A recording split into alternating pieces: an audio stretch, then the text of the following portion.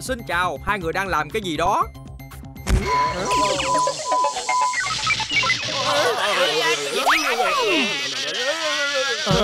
Ờ, bộ, bộ, bộ, bộ, bộ tụ anh còn đứng đó nhìn nhìn nhìn nhìn nữa anh mau cái bấm cái nút dừng lại giùm tôi đi bấm nhanh lên Nhưng mà nút nào mới là nút dừng lại đây ta? Ờ, từ từ từ từ lên đây tôi tôi tôi tôi tôi chịu hết nổi rồi anh bấm nhanh lên đi Bộ tụ ơi anh làm cái gì vậy hả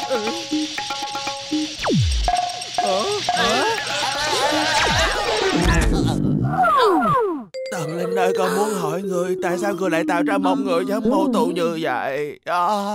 Ôi thần linh ơi Cây số của tôi sao mà khổ quá vậy nè?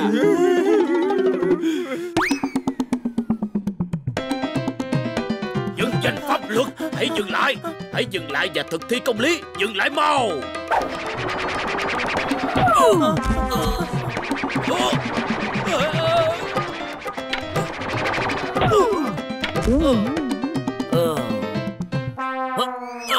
đây là trò chơi máy tính.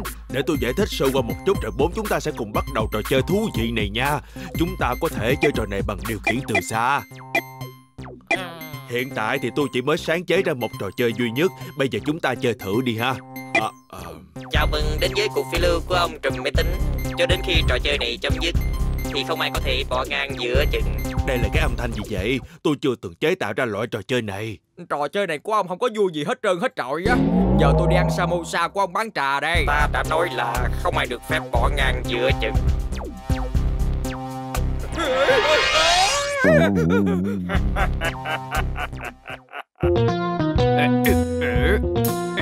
Hình như tiến sĩ Chaka lại chế tạo ra được một cái máy mới rồi Nếu như mình cướp được cái máy đó Thì nhất định mình sẽ trở thành triệu phú. Ừm. Nè máy tính kia Nghe đây. Nè nha Chúng tôi sẽ chơi trò này khi nào chúng tôi thích. Ngược lại Chúng tôi sẽ dừng lại khi nào chúng tôi không thích chơi nó nữa. Những điều ông nói là không thể nào. Các người bắt buộc phải chơi trò chơi này.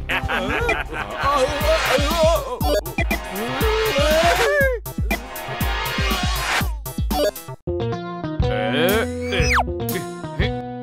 Sao bọn họ có thể chui vào trong cái điều khiển từ xa này được chứ? Chuyện này là không thể nào. Ừm. Tìm thấy rồi. Ôi thần linh ơi, Những gì mình thấy là thật hay là mơ vậy? Lúc nãy tên John đã chui vào trong này, Sao hắn có thể chui vào được cái điều khiển từ xa nhỏ xíu này được chứ? Hả? Ôi thần linh ơi! Tiến sĩ Chaka ơi Ông đưa chúng tôi tới chỗ nào mà nhìn trống trơn vậy hả? Tất cả là tại anh đó. Sao anh còn hỏi tôi nữa? Chắc là hồi nãy anh đã bấm nhầm cái nút nào đó Nên nó mới đưa chúng ta tới chỗ này. Ờ, Sao lại đổ lỗi cho tôi chứ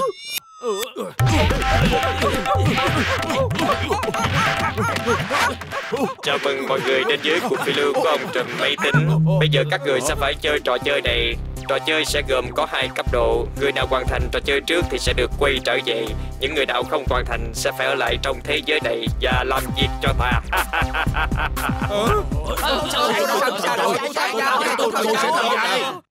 Cấp đầu tiên của trò chơi.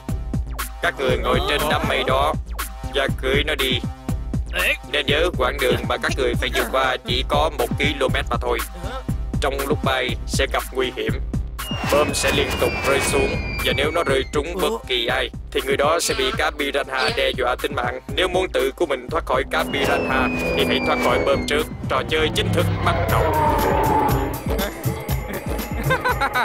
Trò này coi vậy mà dễ quá ha. Nếu dễ thì hắn sẽ không bao giờ tạo ra trò chơi này đâu Mô Tu à. Làm ơn lá cho cẩn thận đó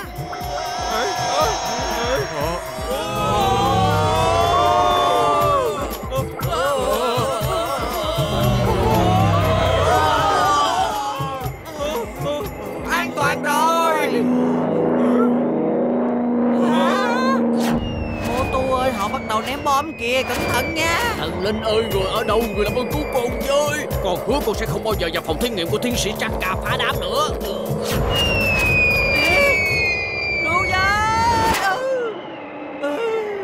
Cứu với Cứu tôi với Hả Mô Tu cứu tôi với Khi đói bụng thì tôi không nghĩ ra được cái gì hết trơn hết trọi á. Hay là anh gợi ý gì đó cho tôi đi. Ừ, Sáng kiến. Anh nhảy qua bên chỗ tôi đi.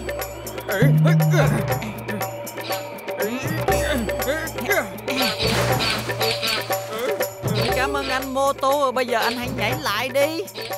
Thần linh ơi anh có bị khùng không vậy? Cái gì chứ? Anh vừa kêu tôi nhảy thì tôi nhảy thôi. Sao giờ anh lại chửi tôi hả? Làm ơn đi tôi kêu anh nhảy qua đám mây của anh Chứ đâu có kêu anh nhảy xuống làm mồi cho cá à, Đừng có cắn nữa. À, Sao nó lại cắn vào phần nhạy cảm của tôi vậy nè? À, ừ, ừ, ừ. Ê, ê, tránh tránh ra tránh ra đi. Bực mình quá à.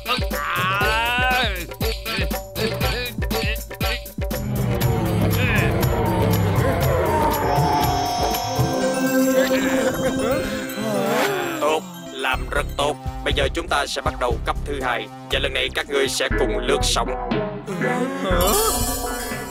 Không lẽ chúng tôi phải lướt sóng trên mặt đất hay sao? Ở xung quanh đây làm gì có biển chứ?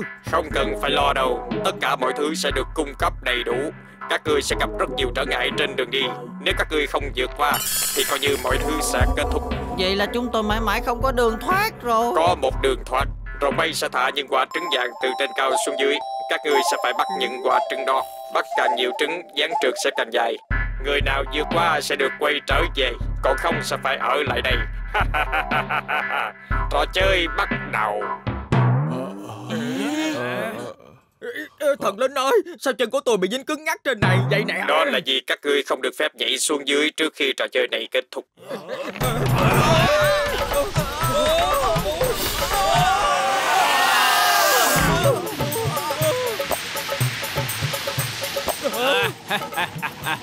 các người sẽ không còn cơ hội nào nữa đâu bởi vì ta sẽ là người tới đích đầu tiên. Ta sẽ về thị trấn Fufuri và kể lại câu chuyện của các ngươi cho những người khác nghe. Bác. Lưu ơi Bây giờ tôi muốn được ăn samosa. Anh mau nghĩ ra ý tưởng gì đó mau lên đi. Khi đói bụng tôi không nghĩ ra được cái gì hết trơn hết trọi á. Thần linh ơi anh làm ơn tập trung lướt sóng đi Đừng có la hét nữa có được không hả mô tu Anh nhìn kìa những quả trứng vàng Chúng ta mau bắt lấy chúng đi. Nhưng mà tôi đang đói bụng dữ lắm Chúng ta có thể lấy mấy quả trứng này ốp la được không? Lo mà bắt mấy quả trứng đó đi Nếu không anh sẽ bị họ ốp la đó. Tôi xin anh tập trung cao độ vô giùm tôi.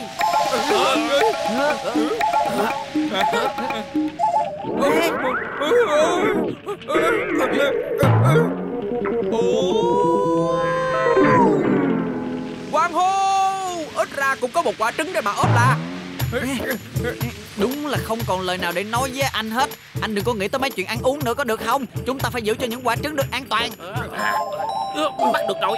Ôi thần linh ơi Tôi đã bắt được một quả trứng vàng rồi nè Tốt nhất là các anh đừng có động vào quả trứng. Bách luôn nói là phải giữ nó an toàn. Bác Lu Anh biết khi đói bụng thì tôi không nghĩ ra được cái gì hết trơn hết trọi á. Anh nói thử coi Tại sao anh lại không cho tôi ăn quả trứng này vậy hả? Tôi vừa mới nghĩ ra một ý tưởng rất hay. À, Tiến sĩ Chaka à Chúng tôi sẽ để ông về đích trước. Ông có thể thoát ra ngoài và sửa chữa lại trò chơi máy tính của ông. Sau đó ông tìm cách cứu tất cả chúng tôi ra ngoài Có được không? Ôi bác Lưu à Bạn của tôi Dĩ nhiên là tôi có thể giúp mọi người ra ngoài rồi. Nhưng tôi không nghĩ tôi có thể về đích đầu tiên trong trò lướt sóng này đâu Thì tất cả chúng tôi sẽ giúp cho ông về đích đầu tiên. Bây giờ mấy người chúng tôi sẽ lướt chậm lại. Còn ông thì cố gắng lướt thật nhanh lên. Nhưng còn John Anh ta có chịu không? Vì anh ta có vẻ đang muốn được về đích trước. Nghe đây. Ta sẽ là người về đích đầu tiên. John sẽ trở thành ông trùm. John sẽ trở thành ông trùm. Ê, ê, cứu, cứu ta với cứu ta với nếu như mà ta đụng vào chướng ngại vật lần thứ ba thì ta sẽ ở lại đây mãi mãi. Ừ, sợ quá. Anh hãy cầm lấy quả trứng của tôi đây nè. Nó sẽ giúp dáng người của anh dài ra. Bây giờ anh cứ lướt từ từ và chậm chậm thôi. Chúng ta sẽ nhường tiến sĩ Chaka về đích trước. Ông ấy sẽ quay về sửa chữa lại máy tính Và đưa chúng ta ra khỏi chỗ này. Trước giờ John luôn luôn là người đi trước người khác một bước. Ta sẽ không chấp nhận bất kỳ thỏa thuận nào với các ngươi. Tạm biệt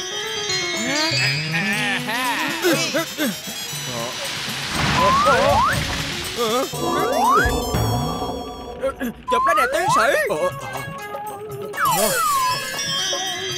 Ừ, Buông tao ra Các ngươi làm như vậy là chơi gian lận. Ừ, Mau buông ra. Tất cả chúng ta phải quay trở về cùng với nhau Và sẽ không có bất kỳ một ai bị bỏ lại đây hết. Anh nghĩ coi Nếu anh về thị trấn và cướp bóc giật dọc Nhưng mà không có ai ở đó để rượt đuổi anh và bắt anh lại hết trơn Như vậy thì có phải là cuộc sống rất nhàm chán không hả Hả? Ờ, Phải người nói không sai. Cuộc sống của ta sẽ không còn ý nghĩa gì nữa Nếu như không có các người.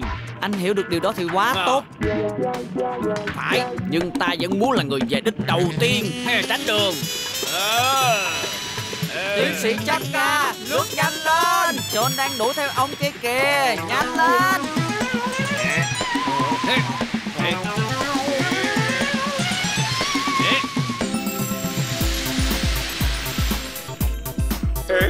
bạn của các ngươi đã quay trở về, nhưng mà các ngươi sẽ phải ở lại đây và làm việc cho ta không không không. Đừng làm vậy, đừng làm vậy. Ta sẽ thả các ngươi. Ra ra ra ra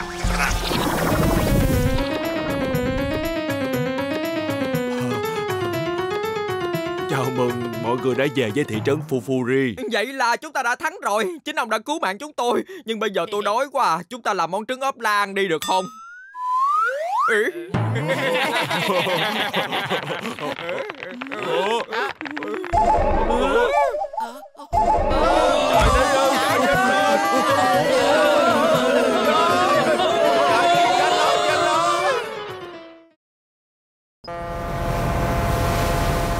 Tiến sĩ Jacka, cảm ơn. Cảm ơn ông nhiều lắm nha. Nhờ ông mà chúng tôi mới có cơ hội tới Bangkok du lịch một chuyến như vậy đó, tiến sĩ à. Mô tu nè, anh cứ nói hoài, Làm tôi ngại ghê. Tôi có làm gì to tát đâu. Tôi có vé miễn phí 3 ngày 2 đêm, Cho nên tôi quyết định đưa mọi người tới Bangkok một chuyến cho biết. Tất cả đều miễn phí mà. Nếu tôi đi một mình thì cũng đâu có gì gọi là vui.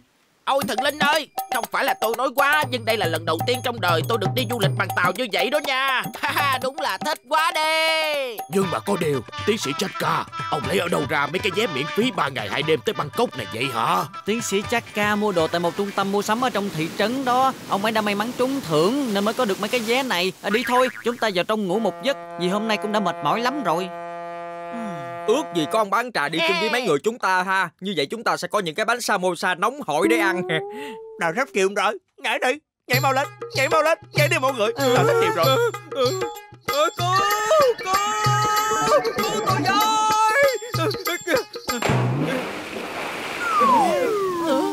Ờ, Xuống mau Mọi người mau xuống dưới này nhanh lên đi Nhanh đi Mau xuống đây trước khi con tàu chìm xuống đáy biển Ừ. Mau đi thôi. Yeah Yeah An toàn rồi An toàn rồi. Tạ ơn thần linh đã che chở cho chúng con An toàn rồi. À, Ủa? Ôi thần Linh ơi Sao mà anh còn tỉnh bơ vậy hả? Anh vừa mới la lên là tàu sắp chìm Cho mà. nên mấy người chúng tôi mới nhảy xuống đây nè. Lúc nãy xảy ra sự cố nên tôi cứ nghĩ là tàu sẽ bị chìm. Vì vậy tôi mới kêu tất cả mọi người ở trên tàu nhảy xuống dưới đó. Nhưng mà bây giờ chúng tôi đã xử lý được sự cố và mọi người trở lại bình thường. Tôi đang mừng thì vô cùng sửng sốt khi thấy tất cả mấy anh ở dưới. Ở giúp với ở giúp với. Có người chưa lên Ờ, tàu ờ, Tôi xin lỗi Tôi xin lỗi nha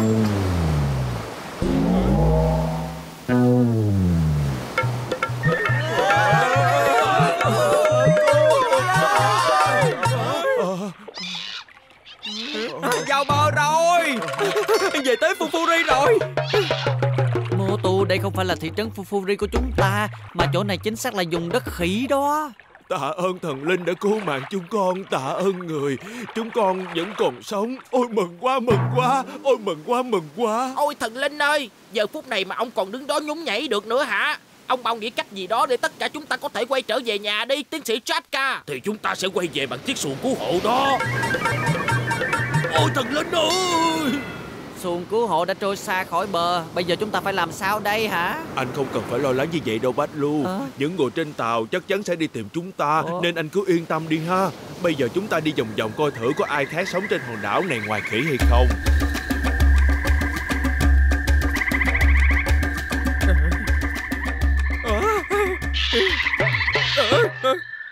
Ờ. Nè con khỉ kia Ngươi không thể đánh người ta rồi bỏ đi dễ dàng như vậy. Tên ta là Jin Gum Cảnh sát trưởng Jin Gum. Không ai có thể thoát khỏi lòng bàn tay của cảnh sát trưởng Jin Gum. Không một ai hết Nghe rõ chưa? Ôi trời ơi Ngươi dám kẹt ta hả? Ngươi dám kẹt cảnh sát trưởng Jin Gum này hay sao? Chờ coi ta sẽ làm gì. Thần lên ơi Nó lại kẹt kẹt nữa kìa. Con khỉ này không hề sao chúng ta. Ôi thần lên ơi. Ờ, ờ. Đi thôi đi thôi mất thời gian quá. Chúng ta đi kiểm tra coi có ai khác sống ở hòn đảo này hay không. Mệt quá. Ơi, Thần linh ơi Con mệt quá. À, Mọi người ơi Tôi nghe thấy tiếng trống kìa. Được cứu rồi Được cứu rồi. Như Như vậy là có người sống trên hòn đảo này. Ôi mừng quá quá mừng Mừng quá quá quá quá quá mừng. Cảm ơn thần linh. Cảm ơn người nhiều lắm thần linh. Ôi thần linh ơi Mọi người nhìn coi.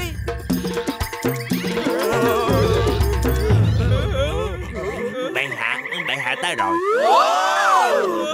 Bệ hạ, ngươi đang nói cái gì vậy? Bọn ta đâu phải là vua đâu chứ. Bọn ta vô tình bị mắc kẹt ở trên hòn đảo khỉ này Mà ngươi là ai vậy hả? Hai vị đây chính là vua của chúng tôi. Chúng tôi đã chờ đợi nhiều năm qua để được gặp mặt hai bệ hạ. Chắc là hai bệ hạ mệt lắm rồi. Xin mời hai bệ hạ lên kiệu ngồi. Cứ thông thả rồi tôi sẽ nói chi tiết cho hai bệ hạ hiểu nghe Sao kỳ vậy? Chúng tôi cũng mệt mỏi dữ lắm. Hay là đưa chúng tôi đi theo giới có được không? Thần linh ơi bây giờ con thật sự rất mệt mỏi. Chúng con đã làm vậy nên tội mà người lại trừng phạt chúng con như vậy chứ.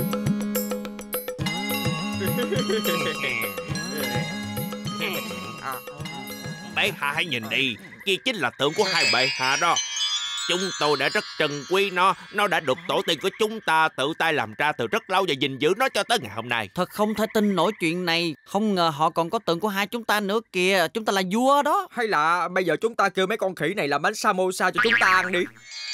Hình vẽ đó là gì vậy? Đó là hình vẽ mà tổ tiên của chúng tôi đã dự đoán rồi vẽ lại. Và tổ tiên đã dự đoán như vậy. Sau này hai bệ hạ sẽ chiến đấu với một con khỉ đột á bởi vì có một con khỉ đột đang quấy rối nơi này và làm cho chúng tôi rất là đau đầu. Nhưng bây giờ đã có hai bệ hạ rồi.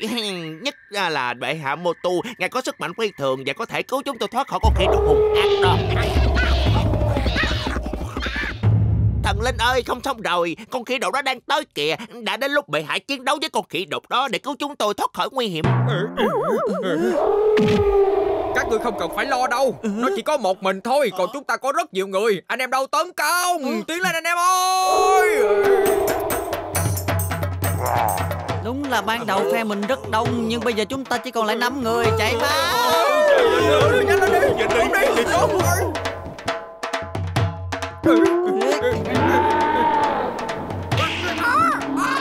Đừng có la nữa Con khỉ đột sẽ nghe thấy chúng ta đó Ôi thần linh ơi! Anh đã hiểu tại sao tôi lại hét lên chưa vậy hả? Thần linh ơi Tôi đã hiểu lý do rồi anh bạn Ôi thần linh ơi, cứu con với, cứu con với mà. Thần linh ơi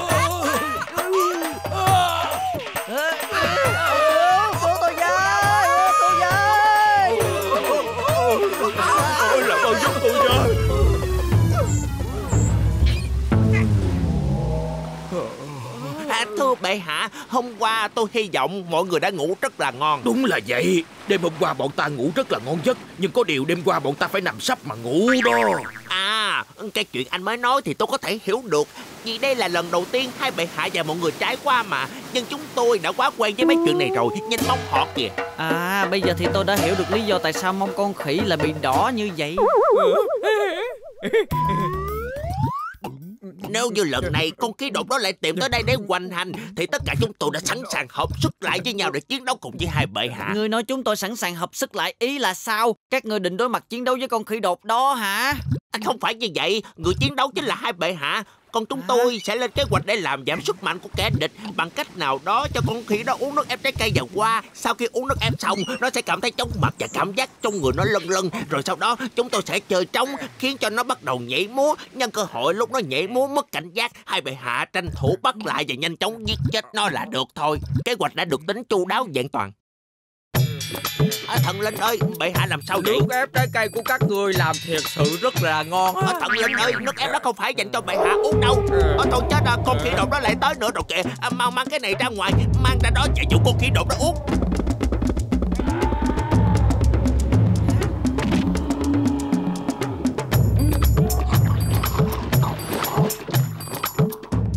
Đây là cơ hội duy nhất Bệ hạ mô tô giận người có thể tấn công con khỉ đó rồi. Theo ta thấy bây giờ bệ hạ mô tô không có tâm trạng để tấn công con khỉ kia nữa rồi Ngươi nhìn coi. Đây là tác dụng của nước ép tôi pha chế Đáng lẽ bệ hạ mô tô không nên uống nó.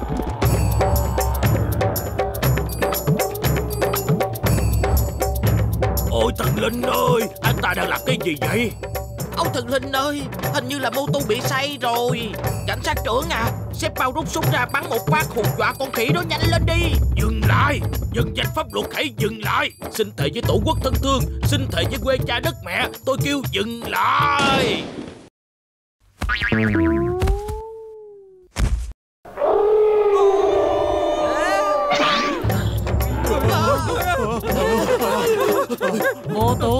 Mau làm cái gì đó đi có được không? Con khi đột nó đang đuổi theo chúng ta kia kìa. Khi đói bụng thì tôi không nghĩ ra được cái gì hết trơn hết trọi á Anh mau suy nghĩ giúp tôi đi bắt luôn Sáng kiến. Bây giờ chúng ta hãy chạy theo con đường cũ. Con đường đã dẫn chúng ta tới chỗ này á.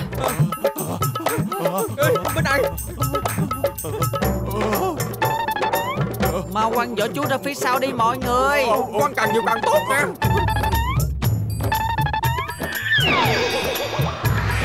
Mọi tục chạy đi Chạy mau lên.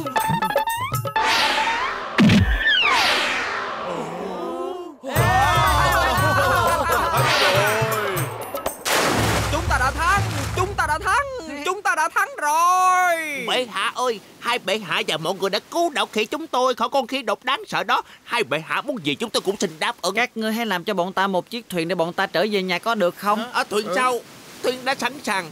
Xin ngài hãy nhìn kìa Chiếc thuyền này đã trôi dạt vào đảo khỉ này khi gặp thời tiết xấu Và chúng tôi đã buộc dây nó Giữ nó ở lại đây. Vậy thì tốt quá rồi Để tôi qua coi sửa chữa lại cho ngon lành. Anh bạn khỉ ơi Bọn ta thật sự rất vui vì được gặp các anh đó. Tạm biệt nha. À, Tạm biệt. Tạm biệt